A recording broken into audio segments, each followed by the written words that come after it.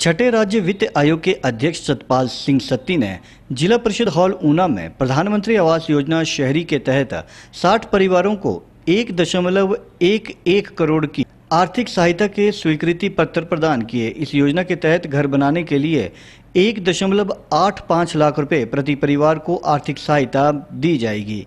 इसके अतिरिक्त सतपाल सत्ती ने प्राकृतिक आपदाओं से प्रभावित परिवारों को भी नौ दशमलव छः शून्य लाख रुपए की राहत राशि के चेक प्रदान किए। इस अवसर पर सत्ती ने कहा कि केंद्र सरकार ने वर्ष 2022 तक देश के सभी परिवारों को घर देने का लक्ष्य तय किया है। प्रधानमंत्री आवास योजना शहरी के तहत ऊना विधानसभा क्षेत्र के शहरी क्षेत्रों में 700 लाभार्थियों का चयन किया गया है तथा पिछले चार वर्षों में 400 परिवारों को घर बनाकर भी दिए हैं, जो कि एक रिकॉर्ड है। उन्होंने कहा कि आबादी के हिसाब से ऊना को सबसे ज़्यादा मकान मिले हैं।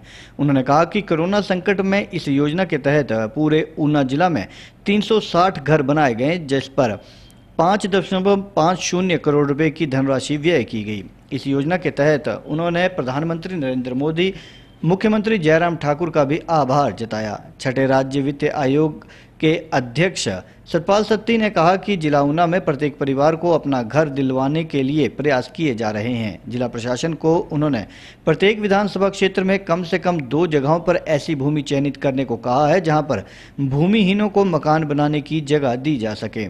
कॉलोनी बनाने के लिए चिन्हित भूमि पर प्रदेश सरकार सड़क, बिजली व पानी की सुविधा उपलब्ध करवाएगी। उन्होंने किसी के पास घर बनाने के लिए भूमि उपलब्ध ना हो तो उसे ज़मीन भी दी जा सकती है।